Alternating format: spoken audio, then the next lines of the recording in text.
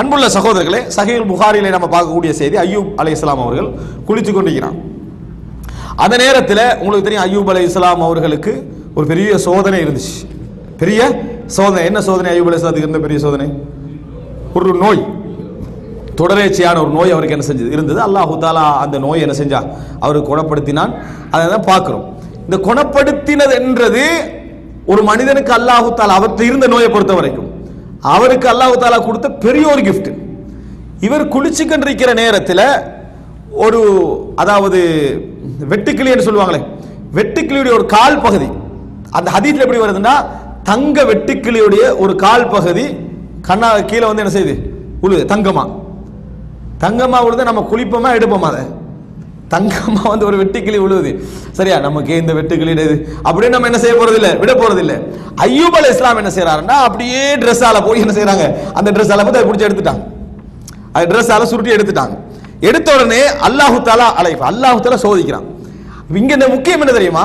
அல்லாஹ் உங்களுக்கு ஒரு செல்வத்தை தந்தால் நல்ல பண விருட்சியை தந்தால் அல்லாஹு தாலா உங்களுக்கு நல்ல விசாலத்தை தந்தால் நீங்க அதை எப்படி எதிர்கொள்றீங்கன்றது ஒரு மிகப்பெரிய முக்கியமான ஒரு விஷயம். எடுக்கிறதுல இறைவன் சந்தோஷம் தான் அடைகிறான். அம்மா பினியாமத்தி ரப்பிக்க ஃபஹத்தி அல்லாஹ் உங்களுக்கு தந்த அந்த நியாமத்துல நீங்கள் தஹதீஸ் பண்ணுங்கன்னு சொன்னால் வெளிப்படுத்துங்க. கஞ்சனாக இருக்காதீங்க. நீங்கள் ஒரு உங்கள்கிட்ட அல்லாவுடைய நியாமத் விளங்கணும். அல்லாவுடைய நியாமத் உங்களில் விளங்கணும். அப்போ அல்லாஹால் அதை விரும்புகிறான்.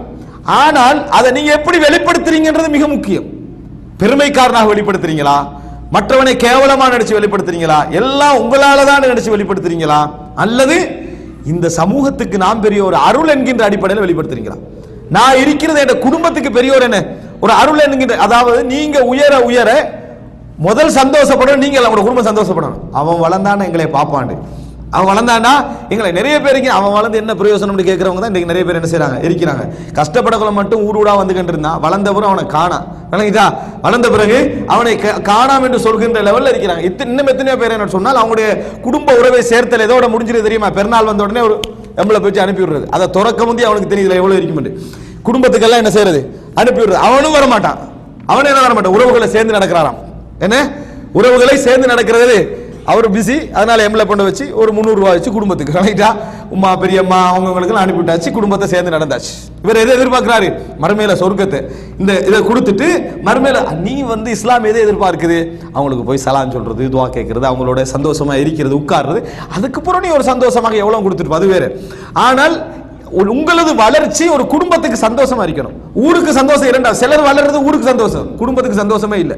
குடும்பத்துக்கு சந்தோஷமே இல்லை. நீ வளர்றத வளர்ச்சி முதல் சந்தோஷமாக யாருக்கு இருக்கணும்? உனக்கு சொந்த உறவுகளுக்கு என்ன செய்யணும்? சந்தோஷமா இருக்கணும். உனக்கு ஊருக்கு சந்தோஷமா இருக்கணும். எப்போது இருக்கும்? நீ வெளிப்படுத்துகின்ற முறையில தான். நீ வெளிப்படுத்துகின்ற முறையில தான் அந்த சந்தோஷமே என்ன செய்ய இருக்கும் பாருங்க ஐயூப் அலை இஸ்லாம் அதை எடுக்க ஓடுறாரு. எனவே ஐயூப் அலை இஸ்லாம் வந்து ஒரு பொருளாதாரம் எனக்கு கிடைக்குது.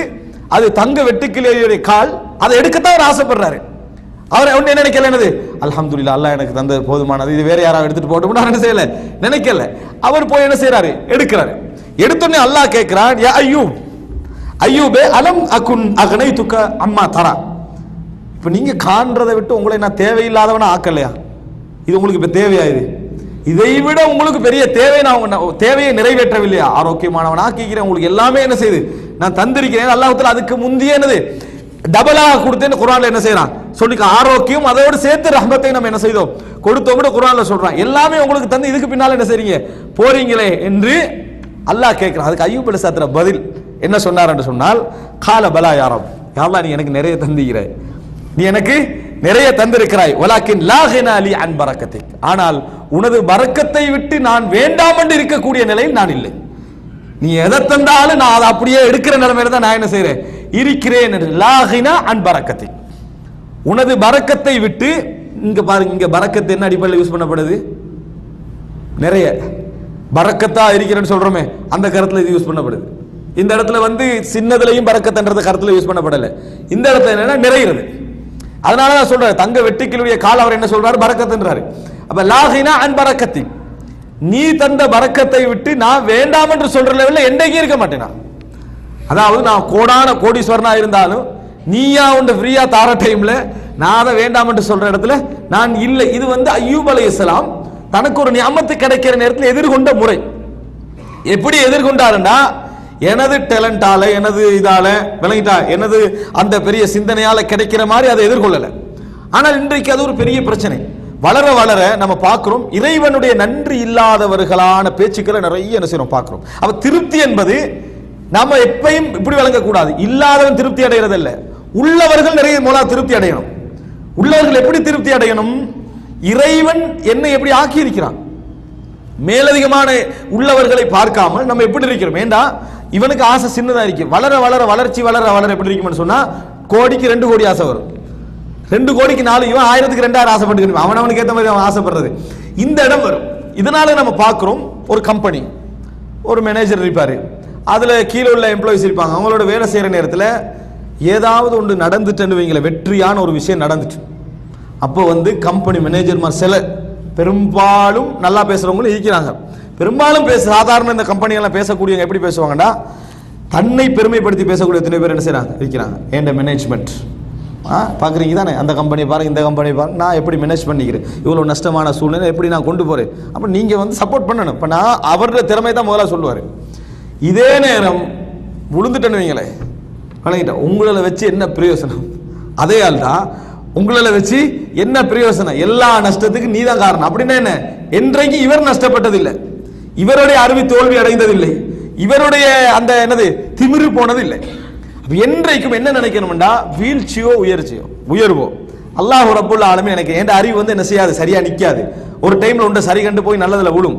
இன்னொன்று அதே விஷயம் என்னை ஒரு தவறுல கொண்டு போய் என்ன செய்யும்? விழ செய்யும் என்கின்ற ஒரு மனோபாவம் இருக்கணும். அப்படி எதிர்கொள்ளணும். அந்த செல்வத்தையும் சுகத்தையும் பண்பையும் அப்படி எதிர்கொள்ள பழகினீங்க என்று சொன்னால் உள்ளத்துல பெருமை வராது. மற்றவனை மட்டம் தட்டுகின்ற எண்ணம் வராது. நான் வானத்திலிருந்து விழுந்த மாதிரியான சிந்தனைகள் என்ன செய்யாது? வராது. உங்களது வளர்ச்சி உங்கள் குடும்பத்துக்கு உங்களோட சமூகத்துக்கு பெரிய ஒரு சந்தோஷமா என்ன செய்யும்? அது இருக்கும். எல்லாம் உங்களுக்கு டபுள் ட்ரிபிளா என்ன செய்வான்? தந்து கொண்டே இருப்பான். அல்லாஹு தாலாவும் அதிகமாக என்ன செய்வான்? அல்லாஹு தாலா உங்களுக்கு தந்து கொண்டே இருப்பான். எனவே அன்புள்ள சகோதரர்களே நம்ம முதல் அதாவது அந்த அடிப்படையான விஷயத்துக்கு அடுத்தாக நம்ம புரிந்து கொள்ள வேண்டிய ஒரு அம்சம் அல்லாஹு தாலா தருகின்ற செல்வத்தை எதிர்கொள்வதிலும் எங்களது திருப்தி இருக்குது.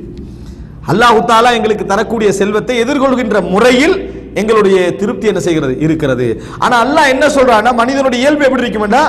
இதா மஸ்ஸஹுல் ஹைரு மனுவா ஹைர் வந்துட்டாலே ஹைர் என்ற இங்க அல்லாஹ் சொல்றது செல்வம். செல்வம் வந்து விட்டாலே அவன் அடுத்த யோசனை என்ன இருக்குது எப்படி கொடுக்காம இருக்கிறது? எப்படி? சில பார்க்கலாம் நீங்க ஒரு சாதாரண அதாவது சொத்துக்கள்ல சாதாரண நிலையில இருக்கிற நேரத்தில் எல்லாரும் ஃப்ரெண்ட்ஸ் ஆயிருப்பாங்க எல்லாரும் ஃப்ரெண்ட்ஸ் ஆயிருப்பாங்க கொஞ்சம் வளர்ந்த உடனே இந்த இவெல்லாம் இருந்தானா பெரிய பிரச்சனை ஆயிருமெட்டு அந்த எல்லாம் என்ன செய்யறது? கழுவி உள்ளது டீசென்ட் இல்லாத கல் என்ன? சரியான ஒரு டீசென்ட் இல்லை ஒரு மெனஸ் இல்லாத ஆக்கள் அப்படின்னு சொல்லி ஒரு பெயர்களை சொல்லி சொல்லி அவனை தட்டி விடுறது. அதுக்கு பின்னால பெரிய லெவலுக்கு ஆகின பின்னால இவரோட என்ன செய்வாங்க? அப்படித்தான் இருப்பாங்க. ஆனால் ரசூல்லாங்கட வாழ்க்கையான நம்ம கண்ட பெரிய சிறப்பு என்ன தெரியுமா? ஆரம்பத்திலேயும் பிலால் தான் இருந்தார் காபத்துல்லாக்குள்ள நுழையிற இடத்துலையும் அதே பிலால் தான் என்ன செஞ்சாரு? இருந்தார் ரதியல்லாஹு அப்புறம் அப்ப ரசூலுல்லாஹி சல்லா அலி வஸ்லம் அவர்கள் காட்டி தந்த ஒரு மிக முக்கியமான அபூபக்கர் ரதியல்லாஹு உமர் ரதியல்லாஹு அவர்களோடு போயிருக்கலாம் ரசூல் சல்லா அலுவலம் அவர்களுக்கு. ஆனால் ரசூல் சல்லா அலுவலம் அவர்களுக்கு தெரியும் அபுபக்கர் உமர் ரதியல்லாஹு இந்த சமுதாயத்தில் என்றைக்கும் இடம் உள்ளவர்கள். அவர்களுக்கு அவர்களுக்குரிய இடம் அவர்களுக்கு கிடைச்சிடும் ஆனால் கிடைக்காம போகலாம்னு நினைக்கிறோம் ரசூலா பக்கத்தில் என்ன செஞ்சாங்க? வைத்துக் கொண்டார்கள் அவர்களுக்குரிய மன்சிலத்தை என்ன செஞ்சாங்க? ரசூல்லாஹி ஸல்லல்லாஹு அலைஹி வஸல்லம் அவர்கள் காட்டினார்கள் என்பதை பார்க்கிறோம். எனவே அன்புள்ள சகோதரர்களே அல்லாஹு தாலா எங்களுக்கு சொத்துக்களையும் செல்வங்களையும் திறக்கிற நேரம் இருக்குது. அந்த திறக்கிற நேரத்தில் ஆசையோடு எதிர்கொள்ள வேண்டியதான் ஆனால் அந்த ஆசை எங்களை வணக்க வழிபாடுகளை விட்டு தூரமாக்காமல் எங்களை வந்து என்னது பெருமையை கொண்டு வராமல் மற்றவர்களை மட்டம் தட்டுகின்ற அல்லது கேவலமாக பார்க்கின்ற ஒரு சூழ்நிலையை கொண்டு வராத அமைப்பில் என்ன செய்ய வேண்டும்? அந்த ஆசை எங்களுக்கு இருக்க வேண்டும். எனவே அது ஒரு திருப்தி. அது ஒரு திருப்தி. ஏன்னா அல்லாஹு தாலா அஹ், அது இந்த எதிர்பார்க்கிறது ஒன்றே ஒன்றுதான். சுக்ர் நன்றி மற்றவர்களுக்கு கொடுக்கிறது. அல்லாஹு தாலா லா மின்கும் ஜஸாஅம் வலா சுக்கூரா ஆனா நீ நன்றி செலுத்தணும் அல்லாஹு தாலா எதிர்பார்க்க நீ மத்தவன்ட்ட என்ன செய்யக்கூடாது? நன்றியை எதிர்பார்க்க கூடாது இது அல்லாஹு தாலா சொல்லக்கூடிய ஒரு மிக முக்கியமான ஒரு அம்சம்.